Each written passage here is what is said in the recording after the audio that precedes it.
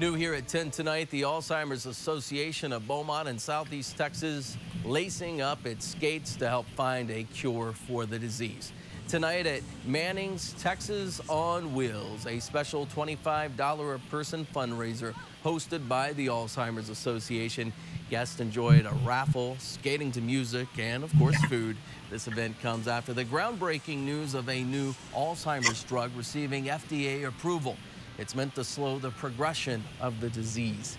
The owner of Manning says it's a great feeling to see so many people show up for such an important cause.